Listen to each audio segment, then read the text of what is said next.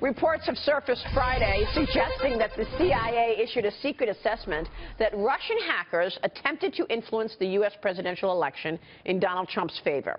This as President Obama ordered a review of all foreign attempts to hack the U.S. election system. President-elect Trump told Fox News yesterday he's skeptical of these reports. The CIA has concluded that Russia intervened in the election to help you win the presidency. Your reaction? I think it's ridiculous. I think it's just another excuse. Uh, I don't believe it. Uh, I, I, don't know why. And uh, I think it's just, uh, you know, they talked about uh, all sorts of things. Every week it's another excuse. They have no idea if it's Russia or China or somebody. It could be somebody sitting in a bed someplace. Let's bring in Fox News senior judicial analyst, Judge Andrew Napolitano. Judge, is this more than politics? Uh, or you know, substance? I, I, I, think it's substance. I don't think it's politics. Uh, so there's a couple of moving parts here. There is no one CIA. There are moving parts in the CIA. Sometimes CIA management will say, you guys prove this, you guys disprove it, we'll see which report is more credible. Mm -hmm. Add to that that there are 16 intelligence agencies of which we know in the federal government. There probably are some of which we don't know, and they often don't agree. Add to that, there's an intelligence branch of the FBI, which has a different view of this from the CIA. So the president-elect receives either directly or indirectly briefings from a variety of sources in the government, and he comes to his own conclusion. The briefings he receives are for his eyes only, and he's determined that the one that the press is talking about, one of several, is not credible. That's a judgment mm. he's intellectually, lawfully, uh, empowered to make. This hacking has been, or the, the talk about this hacking has been going on for six months or more. Right. From the, and, it started at the, the DNC. And we haven't been given a shred of evidence to substantiate the claim that the Russians were behind this. I agree we with you, seen, Harlan. And, and, and you remember Hillary Clinton stood up on the debate stage and she said that 17 agencies have corroborated yeah, the accusation. One? And she based that on a memo. And this is a line from the memo that said that the hacking was consistent with the methods and motivations of Russian-directed efforts efforts. That means literally nothing. Yeah. That means that it looks like the Russians did it. There's been zero evidence. Well, proper. she was she well, was she was wait, saying that she was saying that, because there was there was a, a statement that was put out by the Department of Homeland Security and the Office of the Director of National Intelligence in October. Well, that's what I'm that, reading. October 7th. Right. That says that it, it is confident that the Russian government. I mean, but you if, if you they have come out publicly and said it. The CIA is a different story. This is mm -hmm. something that was in a report.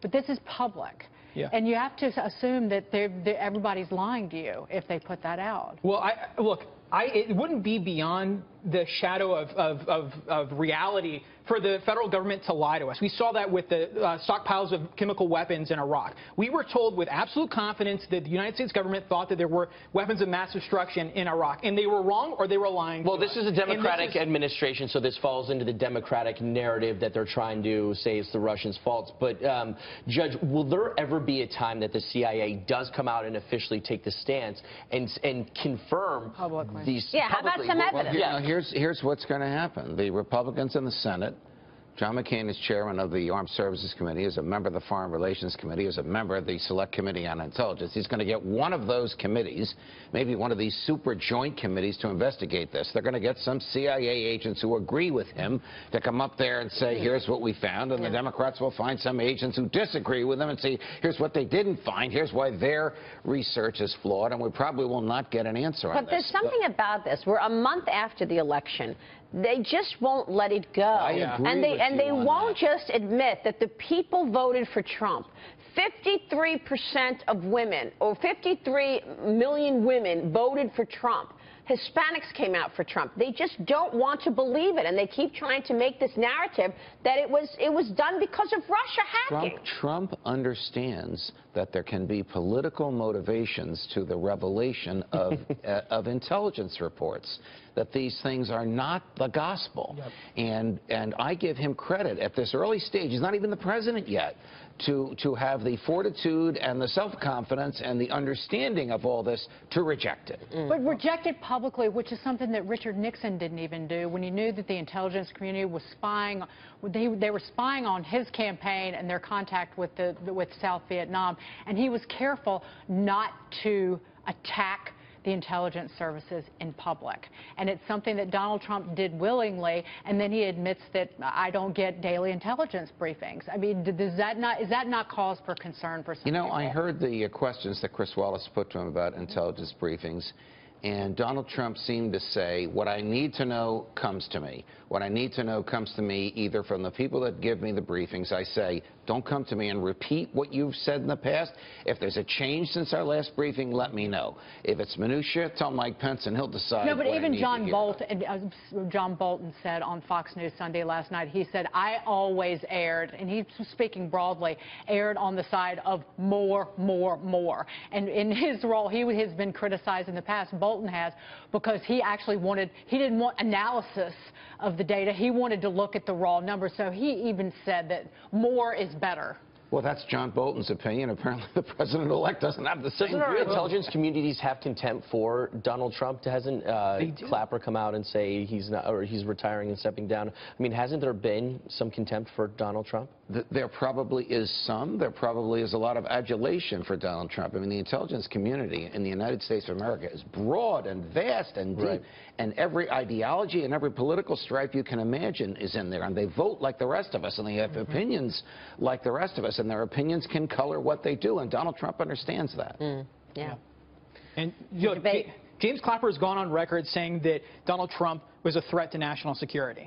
So he clearly has No wonder he's resigning. No, uh, no, he has. Actually, for James Clapper to say The that, director of national intelligence. I mean, that is pretty extraordinary to take a position like that. Doesn't surprise me. He lied under oath. He lied under oath to Congress saying he's Clapper never. lied under oath. Yeah, he's saying he's not spying on the. He's like, no, we are not spying. It spying. does raise like, the through issue his when you, teeth. when you, and and I know that this, the FBI is not signed on with the CIA No. in this report, and for, for myriad reasons. And I, and of course, we're looking for evidence. However, when you have the president-elect come out and dismiss findings from the CIA, well, what, what about something on a different matter? It's pretty you bold. didn't dismiss that. It's pretty. It's pretty bold, and I was smiling as I heard him say it. Is it Islamic, you know, on the Islamic State, on, on um, radical Islamic terrorism, on, uh, on you know, uh, Yeah. the spread of it? Do you, if you're going to dismiss that, would you dismiss? It's a fair He point. doesn't have the POTUS. Twitter handle just yet. It's coming up January. He doesn't need it. Judge, good to see you. Pleasure, Thanks guys. so much, all Judge the. Napolitano there.